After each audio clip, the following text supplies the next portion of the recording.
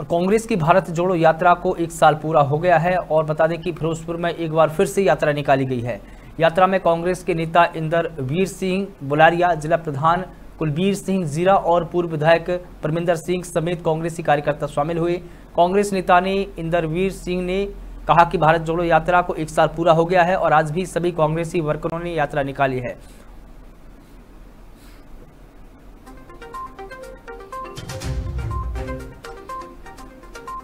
ਦੇਖੋ 1 ਸਾਲ ਪਹਿਲੇ ਕਾਂਗਰਸ ਪਾਰਟੀ ਨੇ ਭਾਰਤ ਜੋੜੋ ਯਾਤਰਾ ਦਾ ਆਗਾਜ਼ ਕੀਤਾ ਸੀਗਾ ਔਰ ਸਾਡੇ ਮਾਣਯੋਗ ਸਤਕਾਰਯੋਗ ਰਾਹੁਲ ਗਾਂਧੀ ਜੀ ਨੇ ਹਿੰਦੁਸਤਾਨ ਦਾ 4000 ਕਿਲੋਮੀਟਰ ਦਾ ਪੈਂਡਾ ਪੂਰਾ ਕਰਕੇ ਕੰਨਿਆ ਕੁਮਾਰੀ ਤੋਂ ਸ਼ੁਰੂ ਕਰਕੇ ਸ਼੍ਰੀਨਗਰ ਵਿਖੇ ਉਹਦੀ ਸਮਾਪਤੀ ਕੀਤੀ ਸੀ। ਅੱਜ ਉਸੇ ਦੀ ਵਰੇਗੰਢ ਵਿੱਚ ਅੱਜ ਅਸੀਂ ਸਾਰੇ ਪੂਰੇ ਪੰਜਾਬ ਦੇ ਵਿੱਚ, ਹਰ ਜ਼ਿਲ੍ਹੇ ਦੇ ਵਿੱਚ ਔਰ ਹਿੰਦੁਸਤਾਨ ਦੇ ਹਰ ਜ਼ਿਲ੍ਹੇ ਦੇ ਵਿੱਚ ਹੈੱਡਕੁਆਟਰ ਵਿਖੇ ਕਾਂਗਰਸ ਪਾਰਟੀ।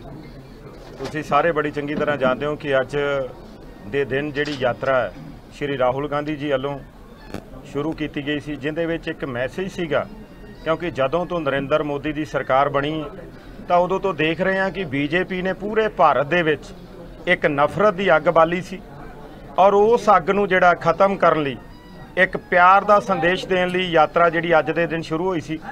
ਦੇਖੋ, ਅੱਜ ਦਾ ਜਿਹੜਾ ਦਿਹਾੜਾ ਹੈਗਾ, ਬੜਾ ਪਵਿੱਤਰ ਦਿਹਾੜਾ, ਜਨਮ ਅਸ਼ਟਮੀ ਦਾ ਦਿਹਾੜਾ ਹੈ। ਹਿੰਦੁਸਤਾਨ ਕਸ਼ਮੀਰ ਤੋਂ ਲੈ ਕੇ ਕੰਨਿਆਕੁਮਾਰੀ ਤੱਕ ਇੱਕ ਹੈਗਾ।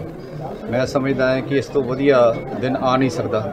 ਜਦੋਂ ਇੱਕ ਸਾਲ ਪਹਿਲਾਂ ਵੀ ਇਹ ਯਾਤਰਾ ਕੱਢੀ ਸੀਗੀ, ਤੇ ਸਾਨੂੰ ਪਤਾ ਨਹੀਂ ਸੀ ਕਿ ਜਨਮ ਅਸ਼ਟਮੀ ਹੈਗੀ ਹੈ।